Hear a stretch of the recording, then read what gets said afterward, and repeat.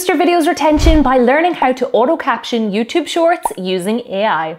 One of the most time consuming parts of content creation is adding captions. So, why do all of our favourite creators add them?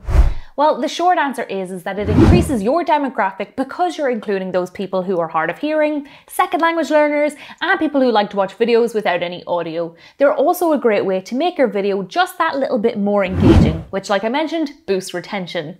So in this video, I'm going to show you how to save hours of manually adding captions to your YouTube shorts by solely relying on the magic of our Auto AI caption generator. To try it out, I've popped the link down in the description. Let's get started. Now we're in Veed, click upload a file and you're going to choose your YouTube short video. Give that a moment to load. You'll notice that the frame automatically resizes to fit a YouTube short if you've selected a vertical video file. However, if your original video was shot 16 to 9 for YouTube, you can easily resize it to fit a YouTube short. All you have to do is click the drop down box next to size and select YouTube short to change the aspect ratio. Moving on, let's add our automatic AI captions to our YouTube short. So click subtitle in the left toolbar, click auto subtitle, choose your language and click create subtitles.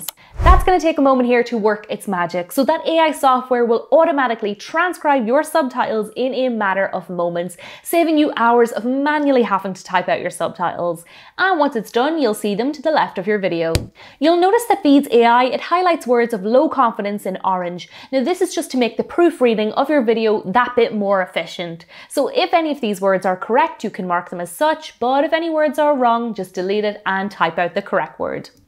You can also shorten or extend the duration of your subtitles by pushing or pulling them in and out in the timeline. You can add a new line, merge two lines together, change the size of your subtitles, and even rotate them. It's up to you. Now let's style our subtitles. So the first thing we can do is change the color of any word. We can even make it bold, italic, or underline it. And you'll see that in a lot of motivational YouTube shorts. So to do this, just put your playhead to the point that that word is on screen, highlight the word you want to emphasize, and choose how you'd like it to look. And you can do this as many times as you like throughout the video. Now we're happy with our subtitles, let's animate them. Click on the Styles tab and in here you can choose a different font, we can make the text bigger, we can change the colour of the font, we can also add an effect. Now I think I'm going to choose shadow, then I'm going to click back and click on animation and in here we have 14 different text animations to choose from. So to test them out, just hover your mouse over each one to see a preview. Choose your favorite option, and then thanks to AI, it's going to automatically sync your audio with the subtitles.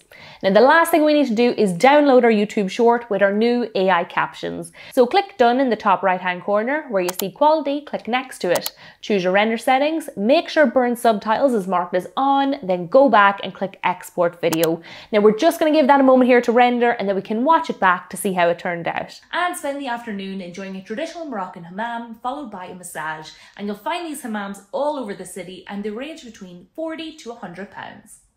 Lastly, click download and download MP4.